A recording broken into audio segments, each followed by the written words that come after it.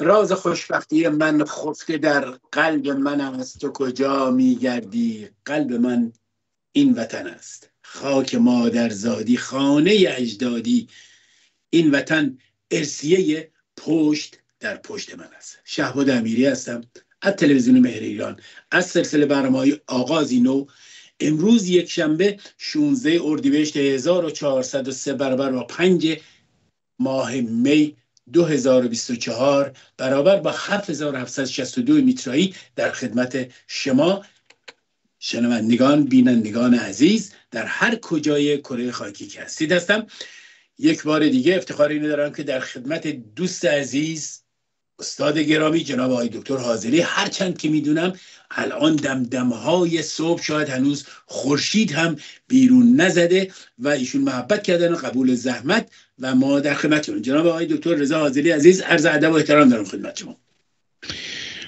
درود بر شما جناب امیری گرامی و بر جناب تجریشی عزیز بینندگان و شنوندگان شما در تلویزیون مهر ایران و سپاس از مهر و لطف شما. من در خدمت شما هستم.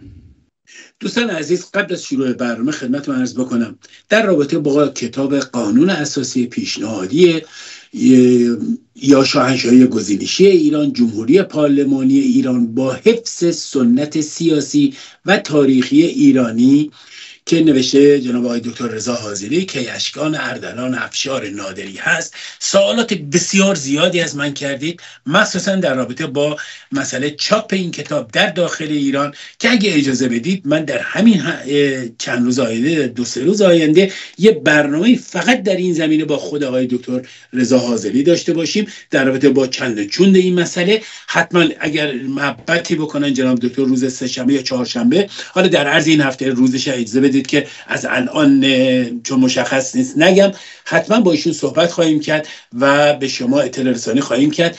به خاطر خیانت هایی که در این زمینه به این دوست عزیز و فرهیخته شده و همچنین هزینه های زیادی که شما بینندگان عزیز و علاقمندان به این دارا بودن داشتن این کتاب هزینه های شما متحمل شدید ولی کتاب دستتون نرسیده. در این زمینه ما صحبت خواهیم کرد و آقای دکتر افشاگری خواهند کرد. خب آقای دکتر عزیز گرامی زیاد وقتتون نمی‌گیرم. می‌دونم شما از خواب ناز بیدار کردم با همه کسالت هایی که دارید. در زمینه با بیماری هم اگه اجازه بدید باز هم در همون برنامه‌ای که در رابطه با کتاب صحبت می‌کنم که حتما از شما سوال خواهم کرد. دوستان بسیار دوست دارن که در این زمینه آگاه بشن. اما در این یکی دو هفته گذشته که خب در خدمتون نبودیم اتفاقات زیادی افتاده. من جمله حکم اعدام توماج صالحی رضا اسدی و تنی چند دیگر جوانان ایرانی که در این مدت انقلاب زن زندگی آزادی از خودشون مایه گذاشتن. و می‌دونیم که جمهوری اسلامی در این جنگ نابرابر دولت صهیونیستی در مقابل ملت فلسطین فلسطینیانی که دارن سرزمینانشون رو دارن قصب می‌کنن.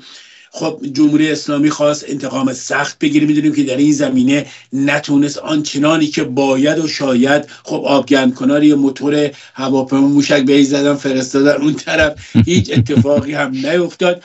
خب ولی با این حکم اعدام توماج صالحی و می‌دونیم که سر صدای زیادی کرد در دنیا تمام افکار عمومی جامعه سیاسی به این طرف کشیده شد و از اصل جریان مردم عقب رانده شدن. بعد از این خب اتفاق دیگری افتاده. از اول در رابطه با این مسئله حکم توماج ساله نظر شما رو بدونم. بعد میریم به مسئله اصلی که مسئله ای هسته که در, در اسپانیا اتفاق در خدمتتون هستم. بفهمید بله. جناب امیری عزیز به مطالب مهمی اشاره کردید و درباره کاری که اسرائیل انجام میده. و جنگی که بین جنگ نمایشی که بین جمهوری اسلامی و اسرائیل بود. خب ما چند هفته پیش با شما برنامه ساختیم. این جنگ مطمئن باشید که شدیدتر خواهد شد. این نمایش جدیتر خواهد شد. الان به صورت موقت فروکش کرده و اینها دارن کم کم گام به گام از نظر روانی مردم ایران رو آماده جنگ بزرگ می‌کنن. و خب نخستین شک روانی با حمله اسرائیل به سفارت ایران و کشته شدن پانزده ایرانی و بعد پاسخ نمایشی و ابلهانه ای که در اون هیچ اسرائیلی کشته نشد و در واقع قوطی های خالی که بدون مواد منفجره بودند شلیک شد که 99 درصد اونها رو هم سیستم دفاع هوایی یا گنبد آهنین ردیابی کرد و یکی دوتا هم که در بیابان افتاد. و این ولی خب تحت پوشش رسانه ها قرار گرفت و بعد پاسخ اسرائیل که پدافندهای سایت های هسته ایران رو به ویژه در اصفهان زد تا کار رو برای حمله آینده که خود سایت ها هستن آسون تر بکنه چون پدافندهاشون نابود شده و در این شرایط تحریم الان جایگزینی این پدافندهای هوایی برای ایران بسیار سخته. بنابراین این نمایش رو که فعلا به صورت موقت آتشی شده از زیر خاکستر مطمئن باشید که در آینده نزدیک دوباره فروزان خواهد شد و کم کم در واقع تاتی تاتی ایران رو به سمت جنگ بزرگ خواهند برد و الان با این حمله آغازین در واقع آمادگی روانی و نرمش روانی برای جنگ بزرگی بوده است که باید خاور میانه جدید درست بشود و این جنگ متاسفانه به ضرر ایران به ضرر مردم ایران به ضرر منافع آینده ایران و به نفع نظم نوین جهانی و اسرائیل و قاسبان ابراهیمی ایران خواهد بود. درباره کارهایی هم که اسرائیل می‌کنه شما کاملا در واقع درست فرمودید و درباره اخباری که هست. ببینید جناب امیری عزیز من از تمام کسانی که مبارزه می‌کنن با جمهوری اسلامی خب قطعا حمایت می‌کنم و این کار رو انجام دادم. من اگر شما خاطرتون باشه من حتی از خانم مسیح علی نژاد نیز نه تنها حمایت کردم که حتی یک برنامه درست کردم سر بررسی علمی تاریخ و گذشته هجاب در ایران باستان و این رو تحت عنوان در واقع مسئله هجاب در ایران باستان و مقایسه اون با شبه فرهنگ ابراهیمی این برنامه رو تقدیم کردم به خانم مسیح علی نژاد.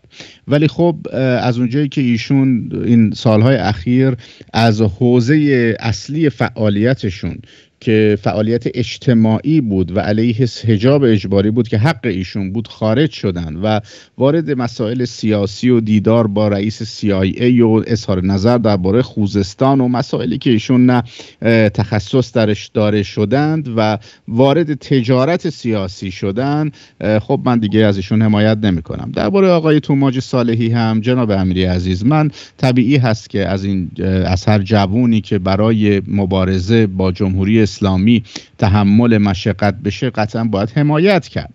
اما قضیه اینجا هستش که شما بدونید که چرا از یک سری افراد خاصی انقدر حمایت میشه و از افراد دیگری به طور کلی اونها رو نادیده گرفته میشه و تحت پوشش خبری قرار نمی‌گیرن و اونها رو حتی سانسور می‌کنن.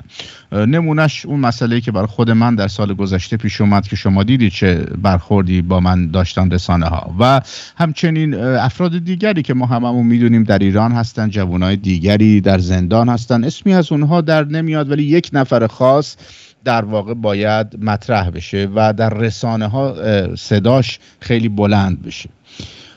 من مخالفتی با سخنان آقای توماج صالحی ندارم و خب طبیعتا باید از ایشون حمایت بشه. اما واقعیت اینجا هستش که مخصوصا درباره این حکمی که صادر شده. اما مسئله اینجا هستش که اون چه که سر ایشون داره انجام میشه از ایشون استفاده ابزاری ای برای تحت پوشش قرار دادن دیگر خبرهای مهمی میشه که در ایران و خاورمیانه در جریان و افکار ایرانی ها رو به خودش اشغال کرده. از جمله سر مسئله جنگ بین ایران و اسرائیل پاسخ اسرائیل که جمهوری اسلامی سرش زیر برف کرد اسرائیل پاسخ داد با هواپیماهای F35 و خب آمد و اسرائیل سرش کرد زیر جمهوری اسلامی سرش کرد زیر برف و بلافاصله خبری درست کردن سر توماش که از هان رو در واقع از مسئله اصلی پرت بکنن.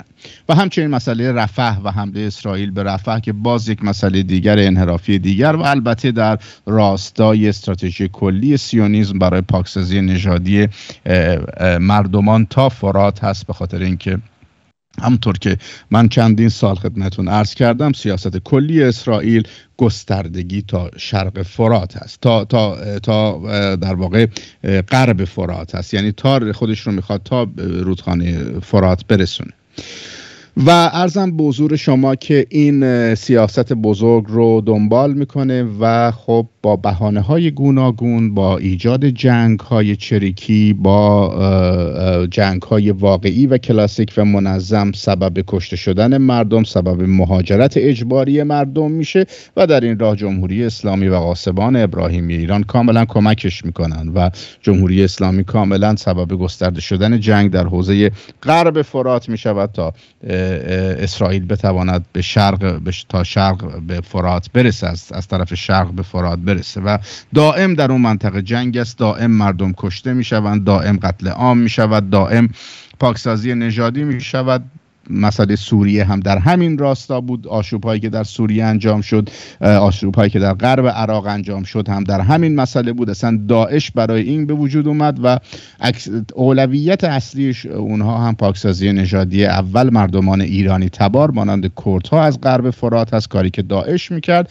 و بعد هم عرب ها هست تا اینکه کشور یهود بتواند خودش رو تا فرات برسون نمونه کاری که در جنگ روسیه و اوکراین دارن می‌کنن و همونطور که می‌بینید در برای ساختن کشور خزر یا اسرائیل شمالی جنگ بین روسیه و اوکراین را انداختن تا مردم اونجا هم کشته و یا پاکسازی نژادی بشن و مهاجرت بکنن و زمین خالی هایی بیفته که زمین های خالی قبلا به وسیله کمپانی های اسرائیلی خریداری شده و هر لحظه آماده خواهد بود تا اعلام استقلال بکنن و اسرائیل شمالی رو هم در واقع بسازن بنابراین این وضعیتی هستش که ما در خاور میانه باهاش روبرو هستیم. این مسائل به ظاهر شاید به هم ربطی نداشته باشه ولی همونطور که می‌بینید از آقای توماج صالحی استفاده ابزاری میشه. بنابراین من زیاد مایل نیستم که مسئله توماج بپردازم به خاطر اینکه ما در واقع ده ها هزار اگر نه صدها هزار توماج داریم که ستم های بیشتری به اونها میشه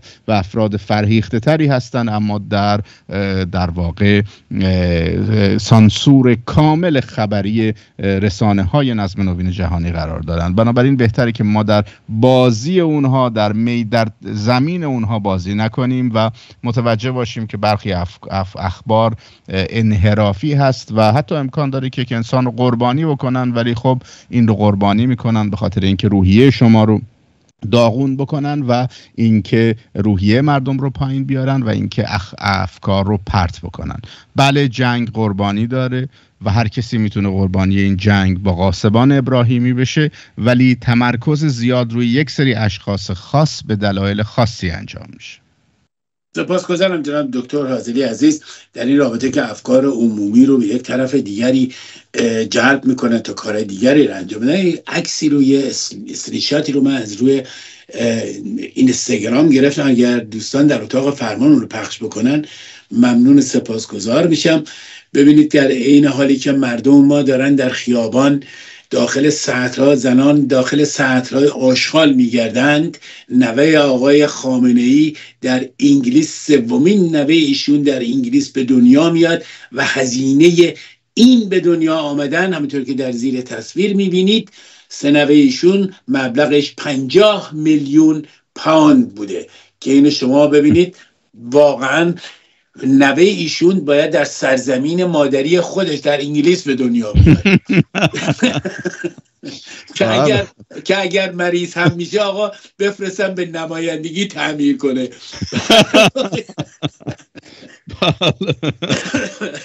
ارزم حضور شما که جناب امیری عزیز وقتی کسی که ثروت های ایشون از قاسب ثروت های ما و شماست و این باند اینها همینه و اینی که من به شما عرض می‌کنم فقط به صورت استعاره نیست به صورت مستند و حقوقی است. بنده حکمی رو دارم. حالا نشون خواهم داد که از مصادره اموال خانواده خود ما هست و زیر این حکم امضای آقای سید ابراهیم رئیسی و آقای حمید نیری به عنوان دو قاسبی هست که این حکم رو امضا کردن.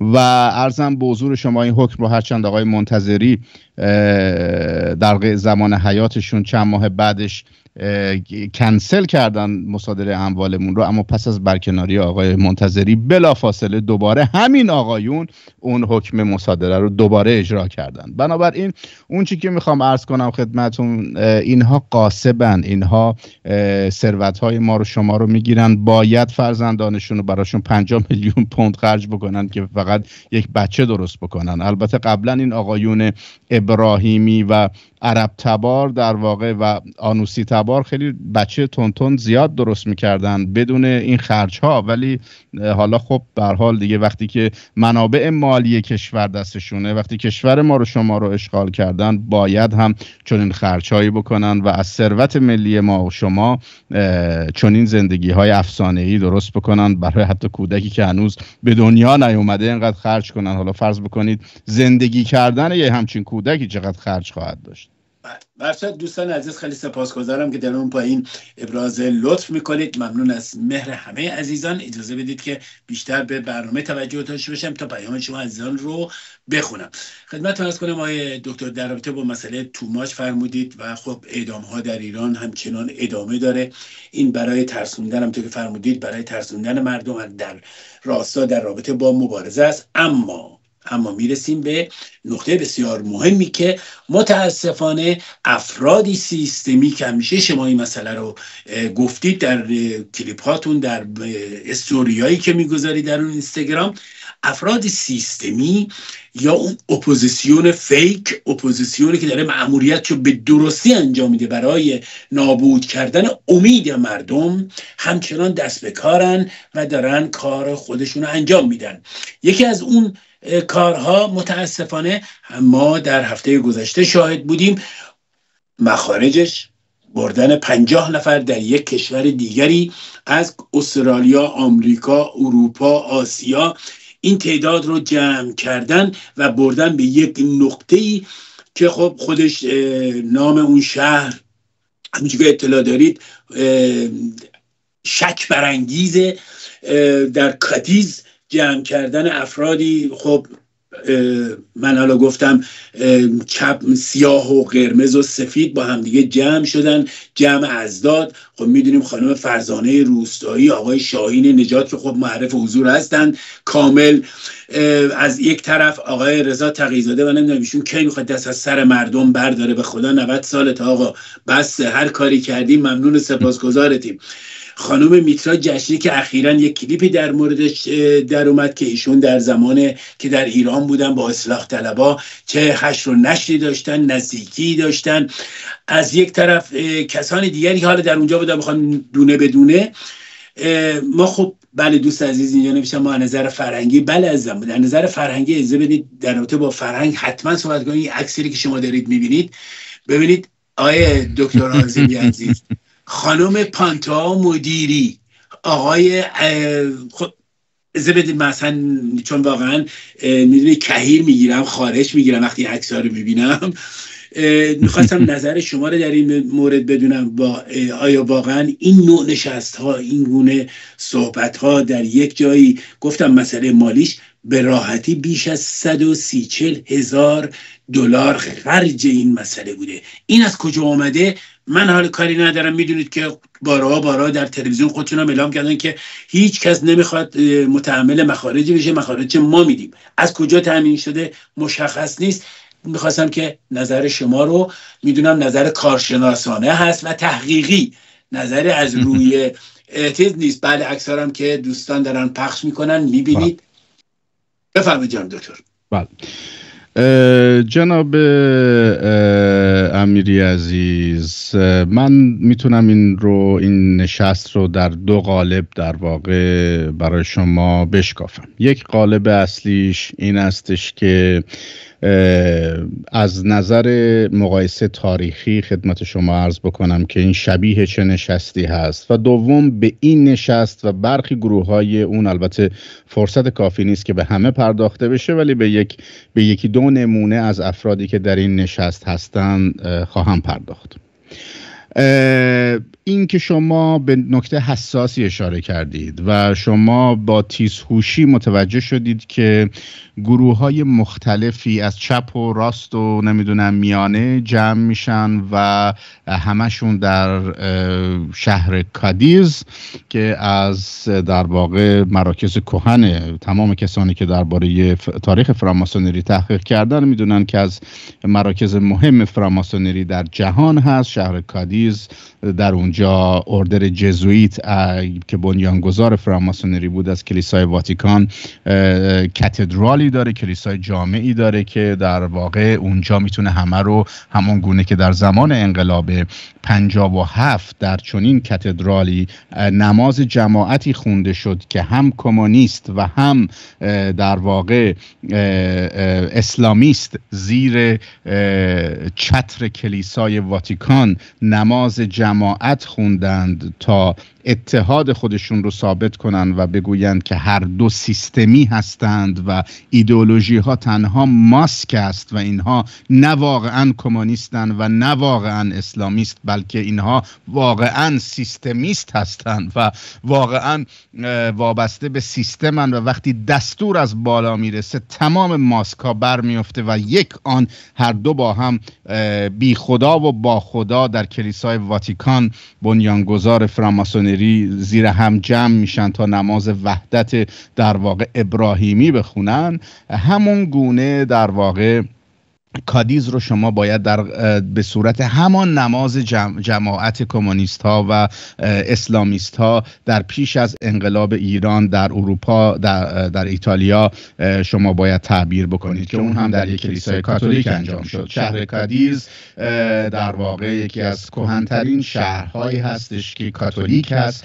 و از مراکز اردر جزویت از کلیسای واتیکان هست. از مراکز قدیمی فراماسونری هست. شهری هستش که فین فینیقی ها اون رو بنیان گذاشتن و ارزم به حضور شما که از اونجایی که فینیقی ها مردم سامی بودن و اردر جزویت اردری است یهودی کاتولیک و سامی و غیر در واقع هند و ایرانی و اروپایی مخصوصا این شهر رو یعنی شهر کادی در واقع کادیز رو که شهری است که فینیقی های سامی دریانورد بنیان گذاشته بودن رو به عنوان یکی از مراکز خودش در واقع انتخاب کرده. این شهر شهری است که در اون نخست نخستین در واقع ارزم به حضور شما که قانون اساسی اسپانیا که از نخستین قانونهای اساسی جهان معاصر بوده در واقع نوشته میشه در قرن 19 میلادی. اگر اشتباه نکنم در سال 1812 در واقع قانون اساسی معروف به قانون اساسی کادیز که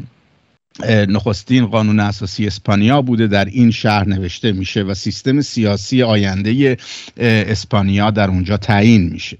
بنابراین انتخاب این شهر, نمادین بوده. اما نه اینکه این افرادی که به اونجا دعوت شدند درک چنین مسائل عمیقی رو یا شعور چنین مسائل عمیقی رو دارن. نه این افراد افراد سیستمی هن که همشون ماسک زدن اینها نه راستن اینها نه چپن نه ملیگرا هستن نه کمونیست کمونیستن نه در واقع سوسیالیستن نه هر چیزی که شما بخواهید. اینها تنها یک در یک فصل مشترک داشتند. و نه ایرانگران تنها یک فصل مشترک داشتند. و اون این است که همه این افراد و اکثریت قریب به اتفاقشون افراد سیستمی هستند. درباره هزینه ها هم که شما فرمودید در واقع هزینه ها رو سیستم از بالا تأمین می‌کنه. و این افراد برخلاف ماسکایی که می‌زنن که آی کمکاشون تنها مردمی هست و از مردم کمک می‌گیرن. این افراد بودجه های سالانه از سیستم دارن. بله به قول معروف سرشون در دو آخر هست. هم از مردم می‌گیرن هم از سیستم می‌گیرن. اما مردمش رو عیان می‌گویند و سیستمش رو پنهان می‌کنند و نمی‌گویند. بنابراین اونچه که می‌خوام عرض بکنم خدمت شما این است که تعجب شما به عنوان یک انسان تیزبین ایرانی کاملا بجاست و وقتی که شما می‌بینید اینها گرد هم میآیند با ظاهر با در واقع ظاهر افکار متفاوت یعنی ما داریم یک تیمی درست می‌کنیم ما داریم یک تیم سیستمی درست می‌کنیم از افراد سیستمی درست می‌کنیم که ملاک اون و در واقع اهمیت اون وفادار وفاداری است چون سگ به صاحبش وفاداری است به سیستم. وفاداری است در واقع به سیستم و ایدئولوژی مهم نیست. در اینجاست که کمونیست میآید کنار ایرانگرا می نشیند کنار در واقع شارلاتان می نشیند کنار ایرانگرا می نشیند کنار پانیرانیست می نشیند کنار سوسیالیست می نشیند کنار نمی‌دونم کاپیتالیست می نشیند و همه اسم های گوناگون همان گونه که نماز در واقع وحدت مخالفین شاه در زیر کلیسای کاتولیک اردر جزویت خوانده شد و کمونیست و اسلامیست با هم نماز جماعت خوندن. اینجا هم مشتی در واقع بچه آخوند و سید و ابراهیمی که ادعای ملیگرایی دارن که ماسک ملیگرایی رو سیستم بهشون دستور داده که بزنند اما از درون در واقع توهی هستند و این کاره نیستند و نقش بازی می‌کنند. در تئاتر جزویتی برای نظم نوین جهانی جمع میشن تا تئاترشون رو بازی کنن و در واقع افراد تیم افراد تیم جهانی تعیین نقش بشن و بهشون سناریو رو کارگردان در این مرکز بزرگ فراماسونری بدهد. در کادیز کارگردان بگوید که چه کسی چه نقشی بازی کند چه کسی ماسک ایرانگرا بزند چه کسی ماسک کمونیست بزند چه کسی ماسک کاپیتالیست بزند چه کسی ماسک روشن فکری بزند. اما در درون همه آنچه که برای اینها مهم است و برخلاف دعواهای ظاهری در درون و شبها پس از جلسات رسمی با همدیگر شب نشینی بکنند و بگویند ما در یک چیز مشترکیم و آن سیستم جهانی است و اون وابستگی است و اون عدم استقلال است و اون آن است که آنچه که ما می‌کنیم اجرای نظم نوین جهانی است نه منافع ایران. حتی اگر ماسک ملی بزنیم حتی اگر ماسک ایران گرایی بزنیم و آنچه که برای ما اولویت دارد نظم نوین جهانی است. بنابراین وقتی که فردی سیستمی باشد اون وقت است که دیگه براش ایدئولوژیش مهم نیست. مهم این است که دستور از بالا بیاید در واقع باید جمع بشود. باید وجود داره. همچنان که وقتی که در انقلاب 57 دستور از بالا آمد جبهه ملی وظیفه داشت که به اصطلاح ملی بود اما وظیفه داشت از فرد ضد ملی مثل خمینی حمایت بکنه. اون موقع هم همه تعجب کردن. گفتن چطور جبهه ملی تنها یک نفر تو جبهه ملی مخالفت کرد. اون بختیار بود و بختیار هم اخراجش کردن. بجز بختیار همه جبهه ملی ناملی شدن و از خمینی حمایت کردن. همین مسئله رو پانیرانیست داشت. پانیرانیستی که باید اوج ایرانگرایی باشد آقای پزشکپور میآید و می, می, آمد و می‌گفت که خمینی فر ایزدی دارد. آیا به راستی پزشکپور پانیرانیست بود یا ماسک پانیرانیسم زده بود؟ من به شما عرض می کنم کسی که پانیرانیست باشد نمی‌تواند به چنین جرسومه ابراهیمی مثل خمینی بگوید که موسوی خمینی این موسازاده خمینی در واقع بگوید که او فر ایزدی دارد. پزشکپور هم فرد سیستمی بود و ماسک پانیرانیستی زده بود. در جبهه ملی هم ماسک جبهه ملی رو زده بودند وگرنه خیانت نمی‌کردند و با وقتیار رو اخراج نمی‌کردند و با خمینی دیدار نمی‌کردند. بنابراین در اونجا هم وقتی می‌بینید که در انقلاب 57 دستور از بالا بیاد افراد سیستمی مشخص میشه. در واقع پته اینها به زبان آمیانه روی آب میریزه. در واقع دستور از بالا بیاد پته ها رو آبه وظیفه دارید با هر ایدئولوژی از دستور سیستم حمایت کنید. اونم کجا در شهر کادیز اونم کجا در مرکز order Jesuit که یکی از قدرتمندترین order های در واقع کلیسای واتیکان هست و شهری که در اون همین Jesuit ها در واقع که ستار در واقع constitution یا قانون اساسی اسپانیا رو نوشتن در سال 1812 قانون اساسی که دو ویژگی داشت و در روی جلد کتابش بالای ستاره داوود رو می‌بینید.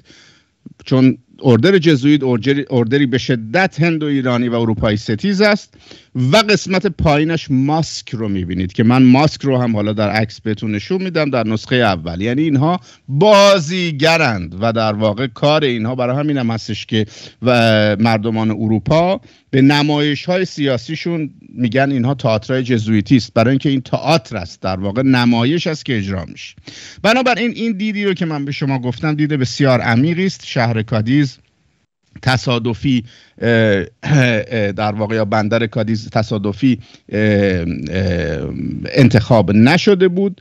هرچند که این افرادی که شرکت کردن اصلا نفهمیدن اکثرشون کجا رفتن ولی اون کسانی که سازماندهی دادن و اون دستوری که از بالا آمده آگاهانه انتخاب کرده و آگاهانه در واقع اینها رو ارزم به حضور شما اونجا جمع, جمع کرد. اما من به شما می‌خوام عرض بکنم که اینها هیچ آینده ای نخواهند داشت حتی اگر در این شوها شرکت بکنن حالا اینکه چرا آینده ای نخواهند داشت اگر شما سوالی دارید بپرسید وگرنه من باید یک مقداری توضیح بدم که کار تفاوت انقلاب در, در انقلاب اسلامی و کارهایی که این اپوزیسیون می‌کند در چیست؟ کادرسازی یعنی چه؟ و چرا انقلابی که در سال 57 انجام شد بر پایه کادرسازی های سواک بود که تا دو دهه نیروی انقلابی درست می‌کرد با مسجد سازی و مدرسه اسلامی سازی مثل مدرسه علوی حتی کادر درست می‌کرد برای حکومت آینده ایران در زمان شاه مثل آقای ظریف که فارغ التحصیل مدرسه علوی است. اما این آقایون پایشون روی حواس پایشون روی آب است. و این آقایون چون کادرسازی انجام نشده تنها نمایشی اجرا می‌کنند برای سر کار گذاشتن مردم. اگر سوالی هست بفرمایید اگر نه من یک مقدار بیشتر وارد جزئیات این افراد ماهیتشون و در واقع جزئیات این گروه ها بشه نه خواهش آقای دکتر. این مسئله رو شما همونطور که سلام می‌دونید حتما باز باید بکنیم. من بعد از اتمام حرف شما سه تا عکس فرستادم برای اتاق فرمان. اونا رو بعدا به ترتیب نشون میدم. من توضیح کوتاه خواهم داد. بفهم در خدمتتون هستم. بله. ارزم به حضور شما که ببینید درست است که گروه های مختلفی دستور از بالا اومده بود و اینها با هم دور یک میز وقتی دستور میاد باید بشینن. اما یک مسئله که وجود دارد این است که اینها در اون کنفرانس روی یک مسئله تاکید می‌کردن و اون میهندوستی و ملیگرایی بود. یعنی ماسک کلی و دستور کلی و بازی کلی و خیمه شب بازی که به اینها از بالا داده شده بود دستور داده شده بود این است که شما ماسک میهندوستی بزنید. خب پرسشی که اینجا مطرح می شود این است که چرا من می‌گویم ماسک و نمی هندوستی؟ آیا من دلیلی دارم؟ آیا من سندی دارم؟ آیا شواهد و قرائه نیست که می‌گویم این افراد افرادی که ملیگرا نیستن و میهندوست نیستن اما این رول رو بازی می‌کنند و میهندوستی اونها از نوع میهندوستی فردوستی است؟ یعنی میهندوستی خیانت آمیز است که سر به زنگاه های تاریخی خنجر بر پشت ایران و ایران زمین فرو می کند آیا من شواهدی دارم؟ آیا قرائنی دارم؟ آیا استدلالی در این زمینه دارم؟ یا اینکه نه. این رو همین گونه صحبت می‌کنم. جناب امیری عزیز من دوست ندارم وارد جزئیات بشم و دونه دونه این گروه ها رو بخوام بررسی بکنم. اما برای نمونه من به یکی دو تجربه ای که با این گروه ها و شناختی که با این گروه ها داشتم رو در واقع با شما در میان می‌گذارم. تجربه اول با شخصی است که دوست سابق مشترک ما و شما بود جناب آقای شهرام همایون. جناب آقای شهرام همایون در در واقع حدود 20 25 سال گذشته ایشون ماسکی که زده اند ماسک ایران دوستی و میهن دوستی و ملیگرایی بود. پرچم میفروختند و پرچم و پرچم تبلیغ پرچم شیر و خورشید می‌کردند. صحبت از ایران دوستی و ملیگرایی می‌کردند. بسیار خوب بسیار عالی و زیباست. خب پس چرا حازلی می‌گوید که این ماسک است و واقعی نیست. واقعیت آنجایی مشخص می شود که بحرانی پیش بیاید مثل بحران فرض بفرمایید انقلاب 57 و کاری که فردوس کرد. خب این بحران رو ما و شما در کانال یک داشتیم. کانفلیکتی و مشکلی با معمور آشکار موساد آقای منشه امیر مطرح شد. یک دو نفر ایرانی از منافع ملی کشورشون دفاع می‌کردن و سعی می‌کردن نقشه های موساد رو افشا بکنن که کشورشون دچار تراژدی نشه. آیا فردی که واقعا ملیگرا هست میآید پشت هم میهن خودش رو خالی می‌کنه و برنامه اون رو میفروشه به در واقع معمور موساد منشه امیر؟ نه.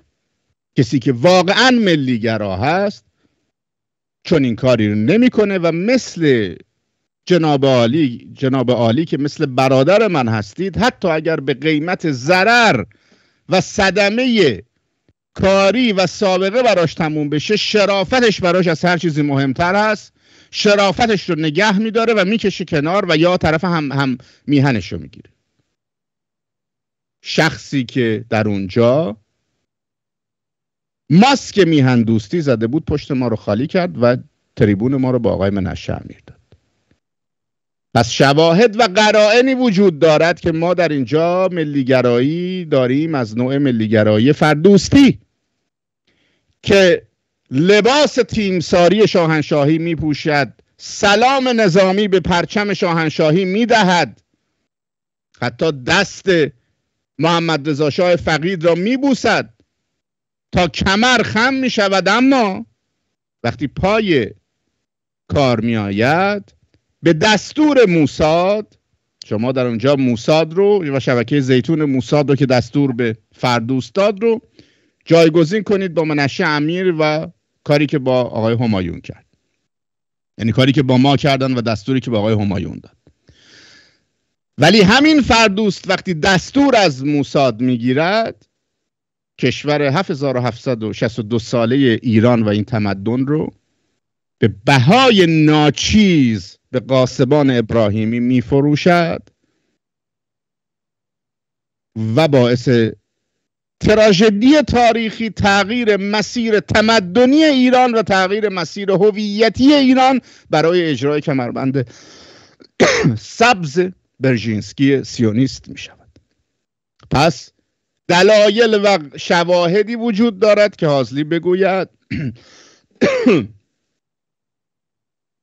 ارزم به حضور شما که این میهن دوستی همایونی از نوع میهن دوستی فردوستی است. اما باید من متاسفانه بگویم که آقای همایون در میان این جمعی که بودند فرشته بودند. یعنی بهترین فرد آقای همایون بود. افراد دیگری بودند که گذشته اونها رو شما بررسی بکنید فاجعه بار است. ولی خب در نهایت پرروگی و در نهایت پررویی و در نهایت وقاحت ماسک ایران دوستی زدن. یکی از این افراد و یکی از این جریان ها جریان رنسانس ایرانی است که فردی به نام آقای شاهین نژاد اون رو بررسی اون رو سرپرستی می‌کنه. آقای شاهین نژاد کیست؟ سید حمید رضا موسوی نژاد. از بستگان یا به قولی نوه آیت الله موسوی نژاد خراسانی که اون هم سید و اون هم خراسانی است مثل آقای موسوی نژاد که ایشون هم سید و ایشون هم خراسانی است از بستگان آیت الله موسوی نشاد که از سیدهای آنوسی هم هستند این دوستان عزیز. چرا؟ چون موسوی نژادند. یعنی یادتون باشه. موسوی یعنی از موسازاده هستند. یهودی زاده هستند. موسازادگی کنایه از یهودی بودن در انتخاب فامیل و سنت فامیلی ایران داره. و تمام افرادی که فامیل موسوی دارند یا یهودی و آنوسی هستند و یا یهودی و آنوسی تبار بودند و مثل خود خمینی که فامیل ایشون روح الله موسوی الخمینی بوده یعنی موسوی رو در خودش داره آقای آیت الله سید موسوی نژاد که از بستگان سید حمید رضا موسوی نژاد که هست که ایشون خودش رو اومده نامش رو تغییر داده سید و موسوی رو زده و کرده حمید رضا نژاد یا شاهین نژاد که فردی که نگذشته ایرانگرایی داشت تا همین چند سال پیش نه ایرانگرا بود نه آشنا با علوم انسانی بود و خودش رو مهندس خطاب می‌کرد یعنی یک تکنوکرات بود و یک شبه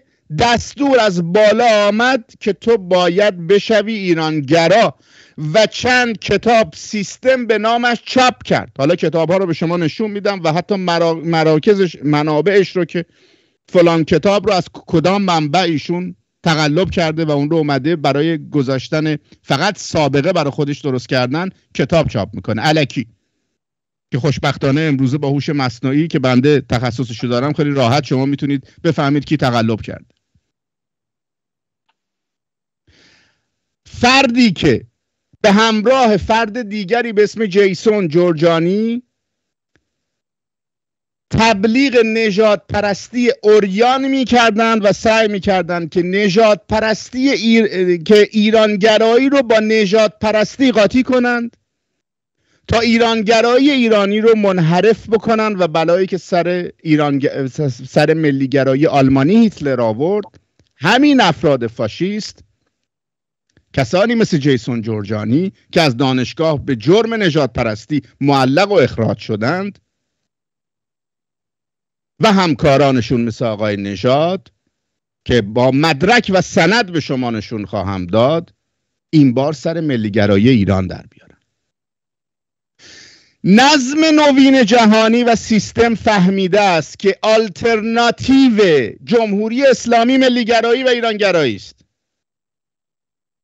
اما اگر پس از جمهوری اسلامی ملیگرایان واقعی و ایرانگرایان واقعی سر کار بیایند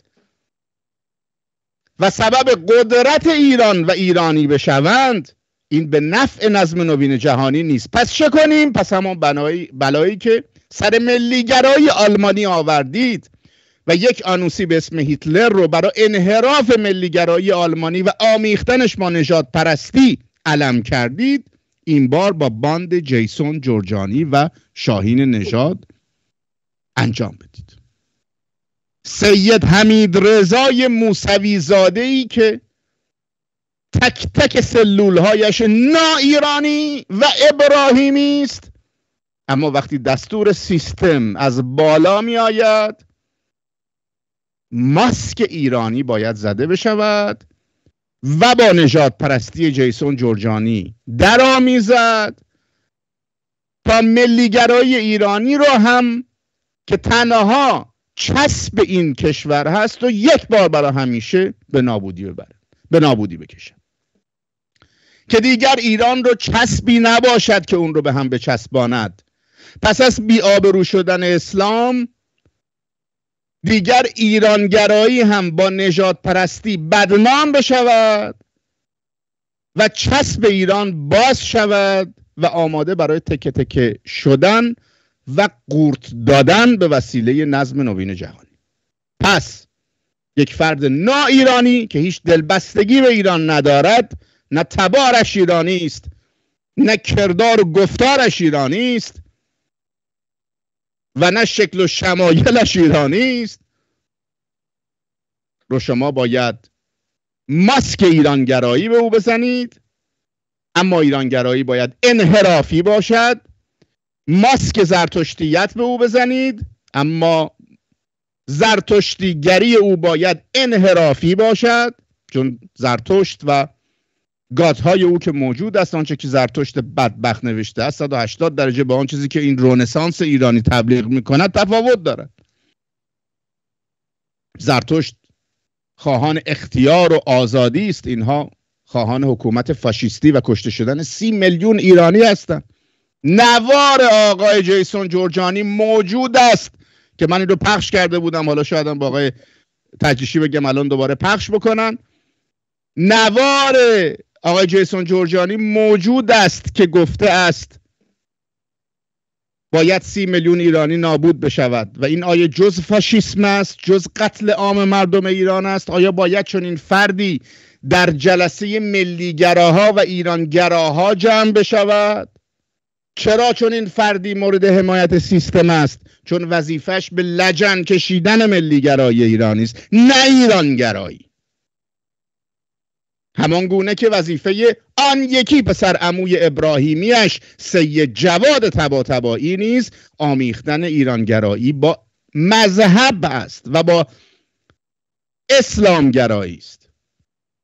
یعنی از یک سو با زهر مذهب و از سوی دیگر با زهر نجات پرستی این دو نا ایرانی با ماسک ایرانیت ایرانگرایی رو به انحراف ببرن و این چسب بزرگ رو برای آینده ایران بیاعتبار کنن هدف اصلی آنها چیست؟ حکومت فاشیستی اریستوکراسی که این مورچگان نیم وجبی خودشون رو اریستوکرات هم مینامند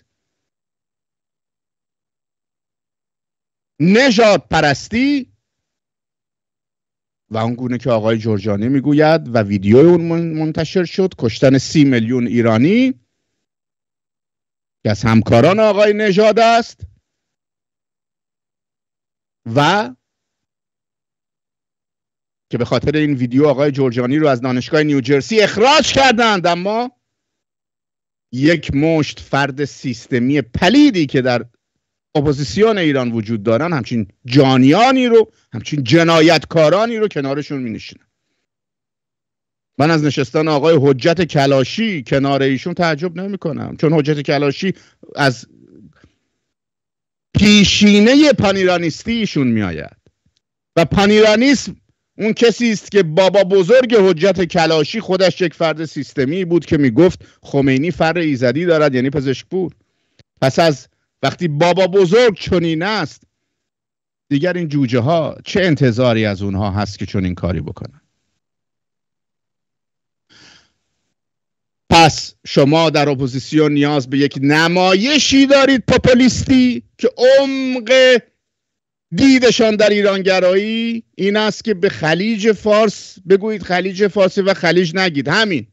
و یک شوی اونجا ترتیب میدن که یه نفر میگه خلیج بعد اونا بلا فاصله اصلاح می‌کنن. خلیج فارس.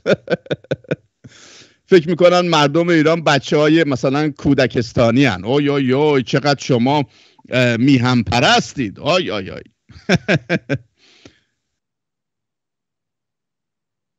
ماسک های پوپولیستی برای فریب ساده لوحان اما ایرانگرایی واقعی چیست؟ آیا از اون صحبتی می شود آیا از کارهای استاد زبی بهروز صحبتی می شود آیا از کارهای استاد فریدون جنیدی صحبتی می شود آیا از کارهای این کمترین که هم مانیفست فلتنها فل... مانیفست فلسفی و علمی ایرانگرایی در تاریخ ایران رو نوشتم تحت عنوان مانیفست فلسفی اندیشکده ایران زمین صحبتی می شود و اندیشه های اونها اجرا می شود آیا از کارهای دکتر ملایری که گسترش دهنده اندیشه ایران شهری بودن صحبتی می شود؟ نه ماسک دروغین ایرانگرایی بر چهره نا ایرانیان برای به حاشیه بردن ایرانیان ایرانگرا که فردای ایران و پس از آن که ابراهیمیان ابا امام ای و سه سید فاطمی و یا سه سید آنوسی خمینی خامنه ای رئیسی رفتند. آلترناتیو یا ابراهیمیان تجزیه طلب و سه سید تجزیه طلب باشد یا سید حسن شریعت مداری سید علیرضا نوریزاده سید زیا صدر اشرافی یا سه سید ملیگرا باشد و سید ایرانگرا باشد که این یکی از دهانشان واقعا گنده گنده تر است و به ریخت و شکل و شمایلشان نمی آید. مثل سید رضا تقیزاده سید شاهین نژاد سید جواد تبا تبایی و باندش. حالا اون که خودش به اسقاط ایزدی رفت و باندش در پانیرانیسم باقی مانده است. پانیرانیسمی که نامش رو باید بهتر است بگذاریم. پانشیئیزم چون آقای پزشکپور خودش را برای بحرین عرب شیعه پاره می کرد اما از کشته شدن ایرانیان دری زبان و پارسی زبان در افغانستان یا آریانا چیزی نمی گفت چون اونها سنی بودن بهتره بگوییم که در واقع پانیرانیسم ما نداریم ما پانشیئیزم داریم. پس بنابراین جناب امیری عزیز اون چرا که ما داریم و اون چیزی رو که ما باهاش روبرو هستیم یک شو است و اینکه چرا این افراد گوناگون با هم در زیر یک سقف جمع شدن؟ دلیل اصلیش دستوری است که از بالا آمده وگرنه اینها نه ملیگران با ذکر دلیل و با سند و مدرک و با استدلال برای شما ثابت کردم و اسلاید های نشون خواهم داد که این رو بیشتر ثابت خواهد کرد. و دلیل اصلی این است که اینها دستور آمده که دور هم جمع بشوند و یک نمایش و خیمه شب بازی در این مرکز فراماسونری ایجاد بکنن آقای تجیشی عزیز لطف بکنن که عکس هایی رو که من براشون فرستادم رو لطفا نشون بدن من رو عکس ها توقف بکنن که من یه توضیحاتی بدم. شما هم اگر سوالی دارید جناب امیری بپرسید من. نه خواهش می‌کنم من مشتاق هستم این عکس رو ببینم بعدم بله بله عکس رو لطفا. بله خب این عکس های آغازین این هست که می‌بینید. افرادی هستن که هیچ کدومشون اولا از علوم انسانی چیزی نمی‌دونن. تحصیل کرده ترینشون آقای پروفسور یا دکتر کنگرلو هستن که ایشون یه روانشناس و فیزیکدانه و اصلا علوم انسانی تفلک نمی‌دونه. و بقیه هم یک سری افرادی هن که اصلا تعریف درست ایرانگرایی و اینها نمی‌دونن. مانیفست فلسفی بنده رو اینا بخونن سه دور دور خودشون میچرخن چه اینکه من براشون فرستادم آخر سر خودشون نفهمیدن دادن هوش مصنوعی تجزیه تحلیل بکنه من چی نوشتم در اون کتاب. بنابراین اینها که متوجه نمیشن. ولی نمایشی در رسانه ها پخش میشه. عکس بعدی لطفا. بله اینم که ببینید آقای سید شاهین نژاد ابراهیمی که برای ما ایرانگرا شده و آقای حجت کلاشی که متاسفم من برای ایشون چون آقای حجت کلاشی فرد خوبی بود و کارهای خوبی هم می‌کرد. قبلا حرفای خوبی می‌زد ولی امیدوارم که ایشون دیگه راه پزشکبو رو ادامه نده.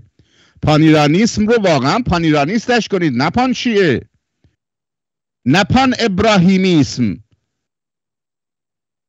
خب ولی متاسفانه می‌بینم که این آقا رو هم متاسفانه با وجودی که ذاتش آدم بدی نبود رو متاسفانه می‌بینید که دارن به درش می‌کنن از را امیدوارم که ایشون برگرده چون واقعا متاسفم برای ایشون. عکس بعدی لطفا. بله این از دل رونسانس ایرانی که کی, کی بیرون اومد؟ آقای امید دانا معموران جمهوری اسلامی. آقای جیسون جورجانی کسی که به جرم نجات پرستی از دانشگاه نیوجرسی اخراج شد در آمریکا.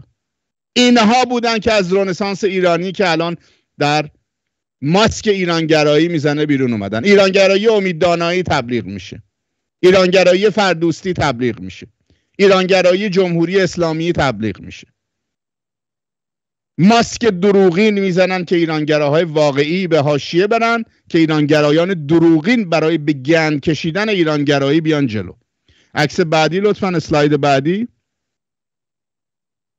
بله اینجا همین مدارکی هستش که حالا من وارد جزئیاتش نمیشم دوستان برن ببینن. در دانشگاه نیوجرسی و در روزنامه نیویورک تایمز فیلم هایی از ویدیوهای از آقای جیسون جورجانی مشاور رنسانس ایرانی و از دوستان نزدیک آقای سید شاهین موسوی نژاد در واقع انتشار پیدا کرده که صحبت از کشتار می‌کنه صحبت از حمایت از هیتلر می‌کنه صحبت از در واقع فاشیسم می‌کنه و این خب این افراد الان قرار است که می‌خواهید آیا ایرانگرایی رو به گند بکشونید که مردم از ایرانگرایی بترسن و دیگه طرف اون نیان؟ خب پس برید رنسانس ایرانی رو دعوت کنید در به دستور نظم نوین جهانی. نخ این عروسک ها کشیده میشه در مرکز کادیز. بیاید ببینید که اینها چه می‌کنند. این هم مدارکیش که این آقا رو به جرم در واقع نجات پرستی انداختن بیرون. عکس بعدی لطفا.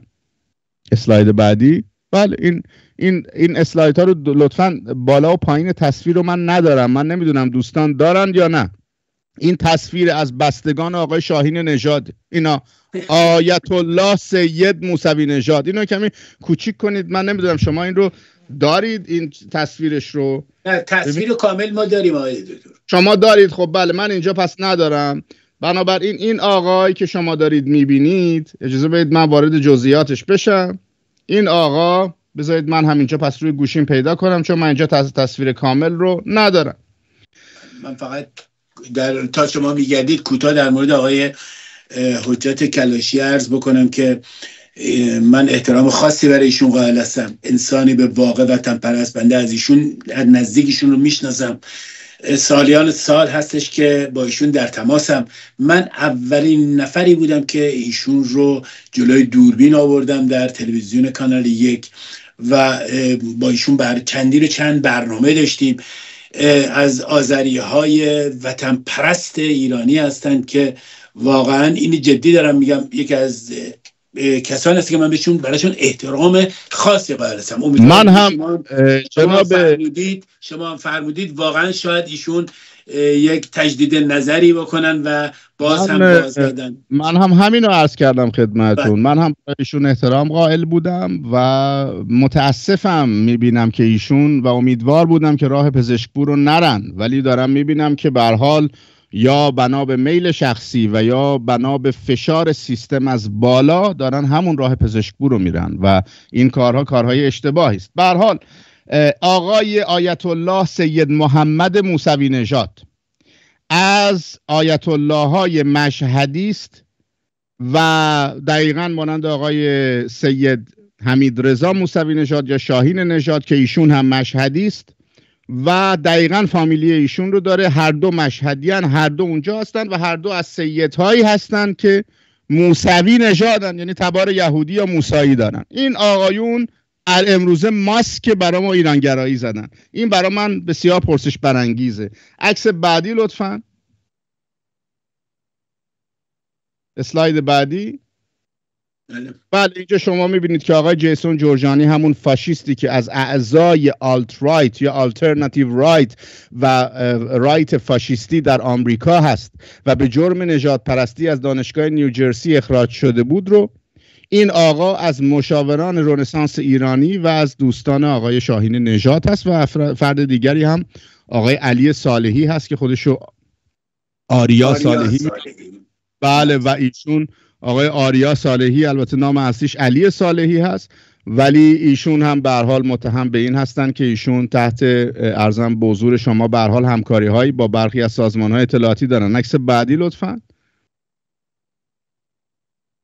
بله اینجا این آقای کوچولویی رو که می‌بینید این آقا که تریبون از ایشون یکی دو متر بزرگتر هست و بلندتر هست این فرد بزرگی هستش که می‌خواد رهبر ایران بشه و در واقع صحبت از نژاد برتر می‌کنه برای اینکه ایرانگرایی رو به نژاد پرستی آمیخته کنه.